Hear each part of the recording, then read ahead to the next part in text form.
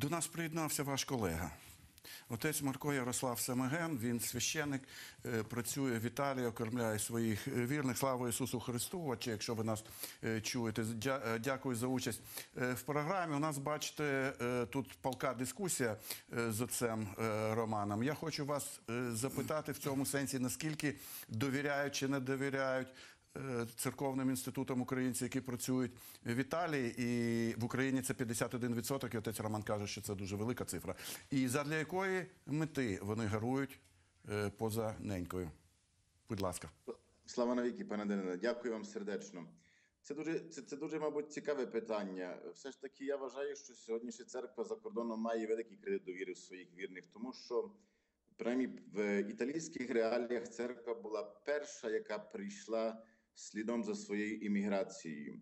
Не було ще державних установ, не було ніяких е, домовленостей, не було жодного, скажімо, сприяння для того, щоб ця тоді трудова чи заробітчанська імміграція мала якісь права, права і обов'язки. Першим, хто був поруч з нею, це властиво церква і священники, які почали душпастерювати, підтримувати, і одночасно вони ставали е, лікарями, адвокатами і допомагали е, всім, чим могли.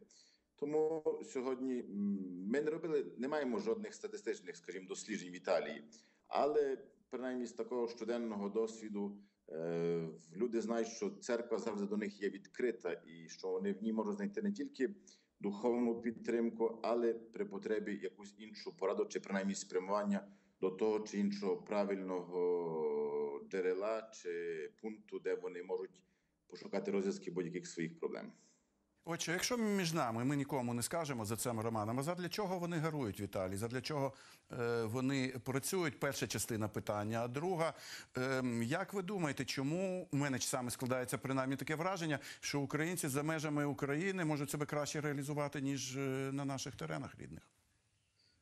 Я думаю, що е, кожна е, сьогодні, що, якщо запитатися кожну з іммігрантів, зокрема, яка тут є, її приїзд завжди був е, ну, на 2-3 роки. На 2-3 роки, на, на жаль, чи на щастя, для багатьох цих 2-3 роки вже пер- перетворилися в 15 і більше е, років е, життя тут на імміграції. Задля чого гарують? Гарують за родин, підтримати своїх дітей, щоб їх вивчити, щоб е, здобути для них помешкання. І я думаю, що між тим всім ще такий, мабуть, є один делікатний, дуже психологічний чи антропологічний фактор. Це е, певна стабільність. Нехай мінімальна, але все ж таки стабільність, яка їх утримує завжди на тому рівні, на якому є. Бо працюючи, вони утримують, вони можуть утримати себе і вони можуть допомогти е, досить реальними чіткими кроками е, своїм рідним і близьким в Україні. Щодо реалізації, мабуть, в Італії починається тільки цей процес.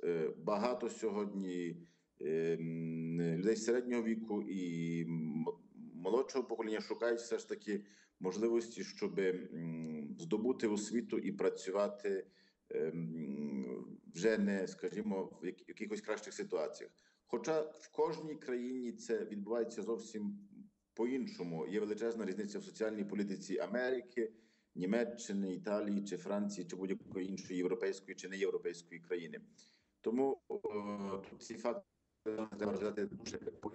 Наскільки вони наскільки держава, в якій вони працюють, створює позитивний імміграційний фонд для е, самореалізації і розвитку.